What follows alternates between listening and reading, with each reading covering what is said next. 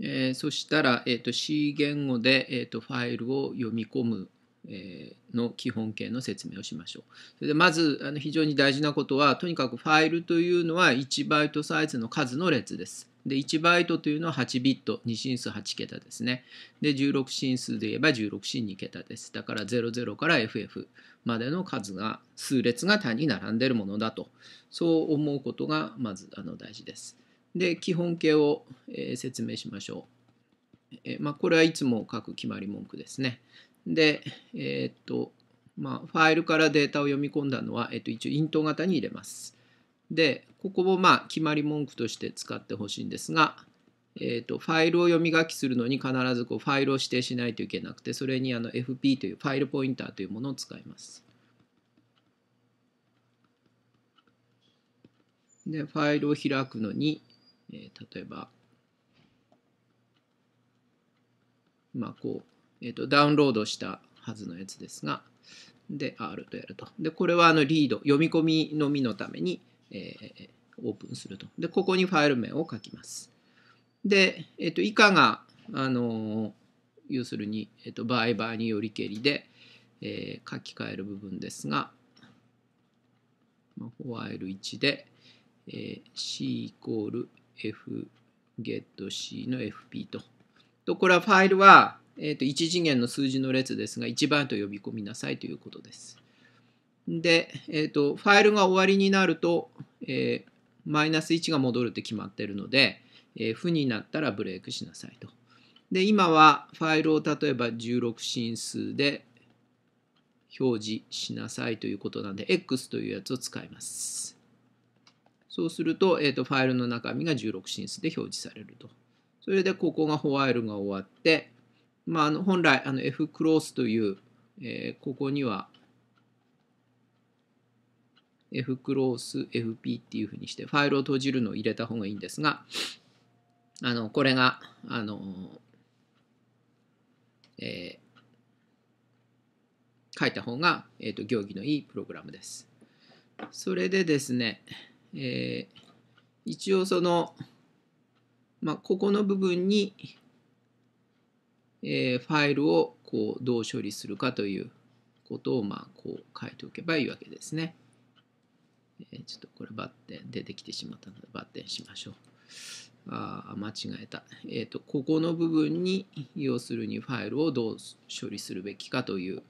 ことをあの書いていろいろ、えーと、バリエーションにすればいいわけです。で、ここちょっと消しておきましょう。で、えー、一応全部口で言ったんですが、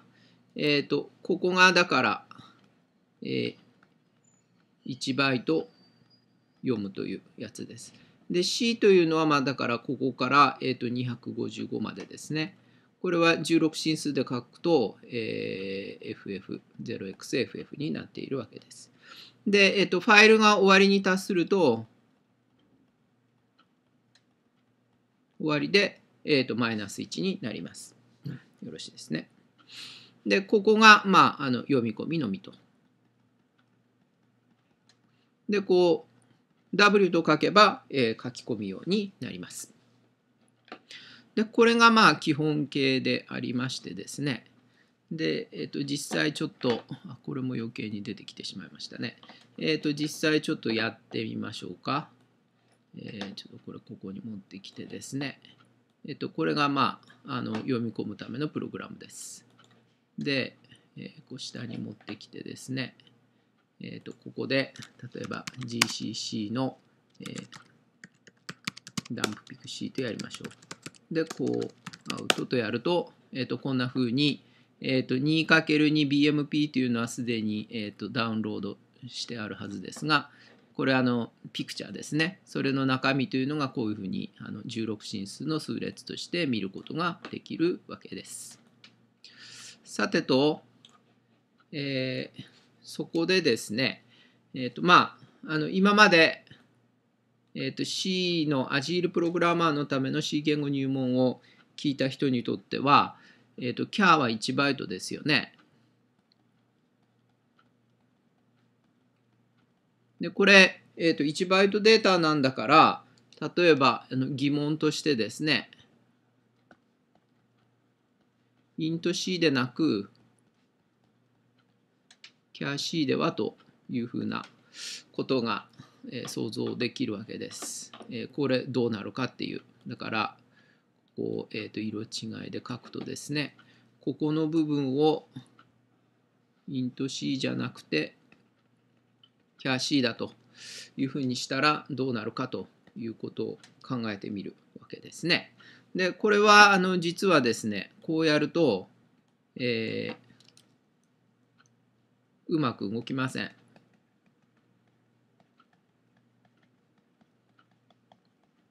動きません。で、もちろんあのうまく動く場合もあるんですが、うまく動きません。で、例えばこっちの方でですね、ここをキャッシュに変えます。で、えっと、コントロール XS で保存しましょう。それで、えー、GCC してですね、で、H アウトしましょう。あれ、うまく動いてるじゃないと思うかもしれませんが、例えばちょっと違うデータでですね、えー、mypic というこのデータでこうやってみましょう。で、えっ、ー、と、保存しました。それで、えっ、ー、と、GCC してですね、H アウトってすると、